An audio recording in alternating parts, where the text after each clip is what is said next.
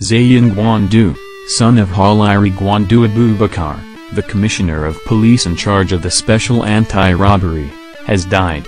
Zayan was one of the victims of reprisal attacks following the killings in three local government areas of Plateau State by suspected herdsmen.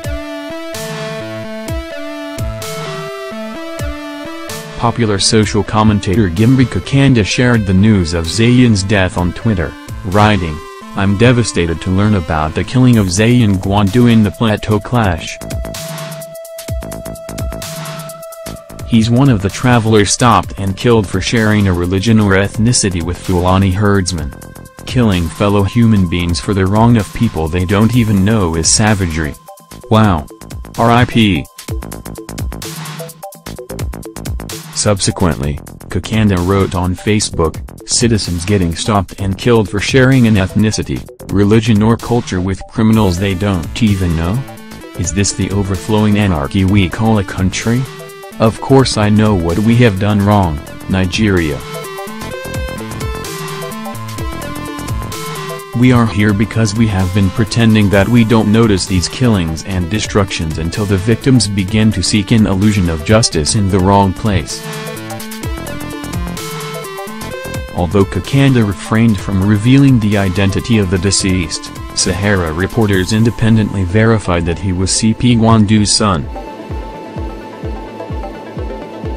Yes, it is true that the CP's son is no more.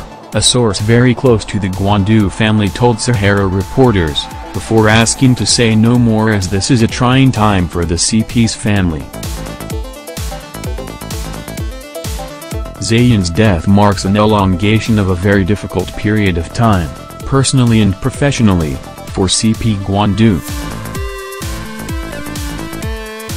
The SARS, which he oversees, has recently come under public scrutiny on account of the high-handedness and criminal activities of its officials. Following the relentlessness of the anti-SARS campaign, Gwandu was forced to announce a repositioning of the squad. In December 2017, he announced that the Nigeria police force had begun the process of dissolving the federal and state SARS into one unit that would be under the supervision of the commissioners of police of each command. He said a lot of changes had taken place, and that there would be training and retraining of personnel of the unit to enhance efficiency.